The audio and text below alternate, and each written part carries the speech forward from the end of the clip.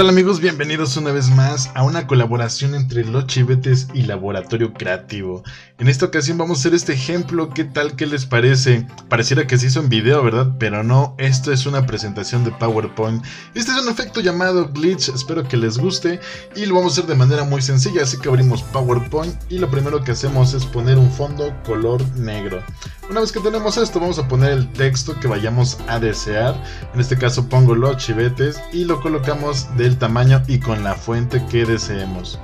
Una vez que escojamos la letra, le vamos a dar aquí clic contrario y guardar como imagen. Así es, le ponen el nombre que ustedes quieran. Una vez que tengamos esto, vamos aquí a agregar la imagen y vamos a agregar el nombre de los chivetes. Una vez que ya tengamos esto, agregamos nuestra imagen y lo siguiente que vamos a hacer es vamos a dar doble clic hasta que nos aparezca la opción de formato. Una vez que ya tengamos la opción de formato, vamos a ir aquí donde dice panel. Activamos el panel y como ven nos salen dos, una que es el texto y otra que es la imagen. Aquí al lado aparece lo que es un pequeño ojo, esto quiere decir la visibilidad. Vamos a desactivar el texto nada más para que tengamos nuestra imagen. Si ustedes desean y van a cambiar el tamaño de su imagen, lo pueden hacer. Si no, ya déjenla así.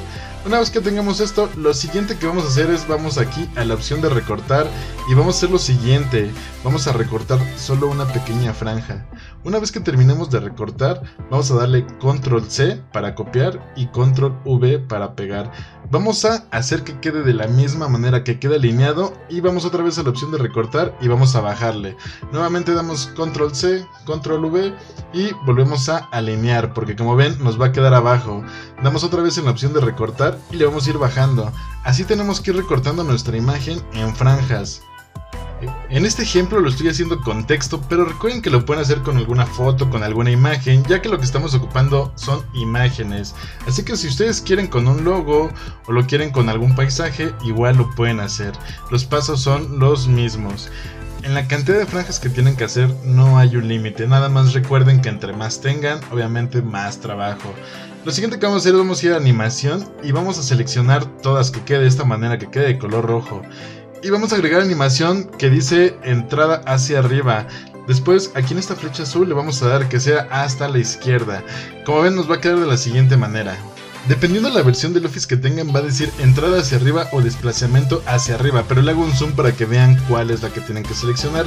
Una vez que tengamos esto, en aquí donde dice el panel de animación, todas deben de estar marcadas de rojo. Si no saben cómo, dan clic en cada una y con control van seleccionando cada una, o bien dan clic en la primera y control shift para seleccionar la última. Una vez que tengan esto, le vamos a dar en esta flecha y vamos a darle aquí donde dice rebote hasta el último. Una vez que ya vamos en este paso, vamos a marcar nada más una que quede de color rojo y vamos a jugar con dos parámetros, los cuales son duración y retraso.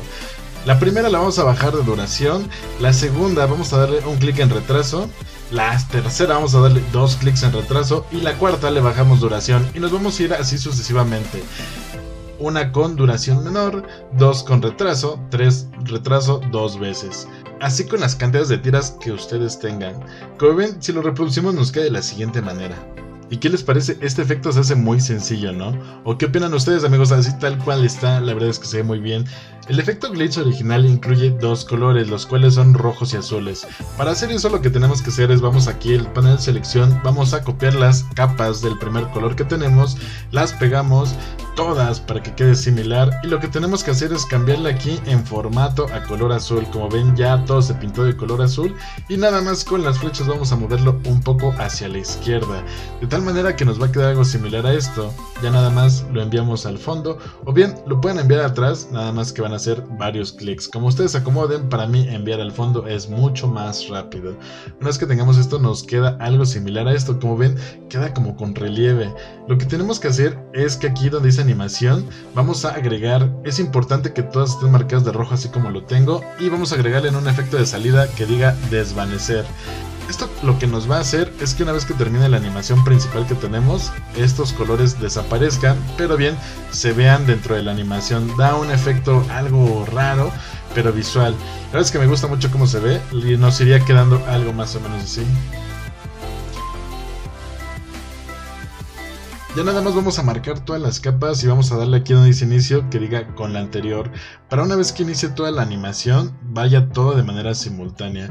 Y hacemos lo mismo ya nada más con las capas de color rojo, como ven es muy sencillo y nos quedaría algo así. Lo voy a poner en cámara rápida, pero ustedes lo pueden ir trabajando. Recuerden que esto del diseño es nada más cosa de práctica. Y como ven nos va quedando algo muy parecido a esto. Lo siguiente que tenemos que hacer es lo que estoy haciendo aquí, marcar de color rojo las capas iniciales. Vamos a darle control C para copiar, control V para pegar y otra vez vamos aquí a ese formato y ahora las vamos a pintar de color rojo. Así es, ya nos va a quedar algo muy parecido a esto. Ya nada más lo movemos del lado derecho. Y otra vez vamos a darle aquí donde dice enviar atrás y lo enviamos al fondo.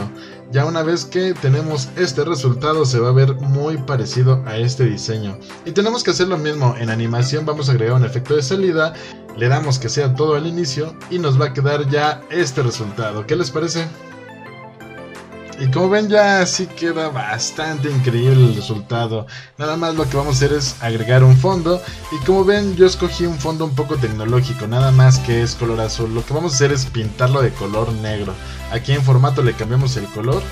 Y ya por último nos quedaría este resultado. Increíble y fácil de hacer amigos, ¿qué les pareció este video? Espero que les haya gustado. No olviden dejar los comentarios, su like y suscribirse.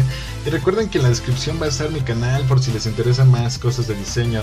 También en los comentarios pueden dejar de qué otras cosas quieren tutoriales, si quieren que sigamos con la línea de Office, para que todos sus trabajos que estén haciendo, ya sea en la escuela o laborales, lleven un diseño mucho mejor y sorprendan a todos. No olviden que estaremos dejando más videos de manera constante, ya tenemos más videos aquí en este canal para que los visiten.